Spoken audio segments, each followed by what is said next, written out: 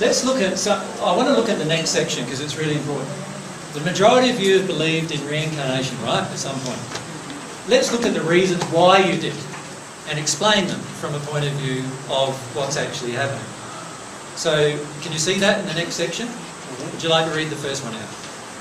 Children speaking wisdom from old, remembering past life experience or initiating, imitating, imitating dead relatives. So how many of you have had that experience with your own children?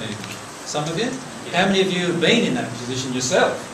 Where, you know, you've felt like all of a sudden this wonderful wisdom just comes out of your mouth and you go, whoa, where did that come from? And you go to a psychic, she says, oh, it comes from your soul. In a previous life you learnt that truth. What's actually happening? Here's the spirit world. Here's you. You have a guide. Many of you have guides on the on the divine love path. So you have guides up in the spirit world in one of the spheres, guiding you. Whenever they can connect to you, they will give you whatever they can give you, if you're open to it. When are you most open? When you're a child.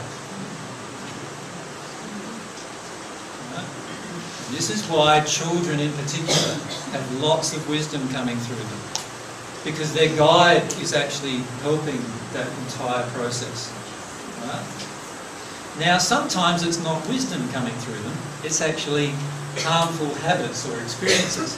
And that's because sometimes, and in many cases, there is a darker spirit in the first sphere, usually a relative of some kind, or a person who's frightening the child, in also trying to influence the child. What do they get out of doing that?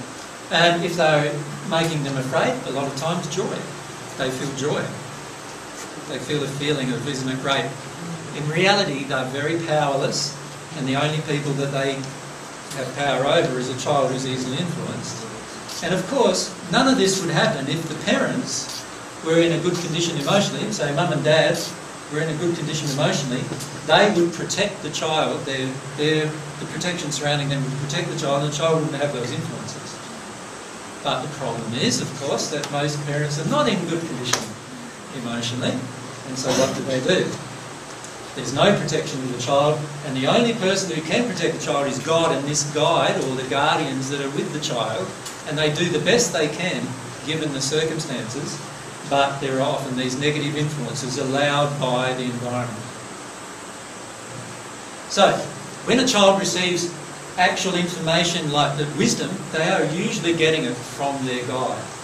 All children are mediumistic. All children are mediumistic. So therefore, all children have this capability of seeing spirits. Many of them have imaginary friends, you call them. They don't call them imaginary, they call them friends, right? Now, how many of you even have had this all your life, where you've connected with spirits or known about connections with spirits? It's quite a lot of you, right? Yeah. How many of you turned it off, or you can't even remember when you ever had it? Most of the time, the damage by the environment is so great that even in a few years, by the time we even have a mind where we can remember these events, we've already got the emotion that prevents them JJ, just that explain the three little girls of Fatima, the three little kids in Fatima and Spain. They're all heavily influenced by spirits of different types. And you can tell the type of spirit by what the person is saying. So many are Catholic type spirits nowadays influencing different children that are Catholic. And because there's that environment in the parents that allow that, of course that, that goes on. In India, it happens all the time.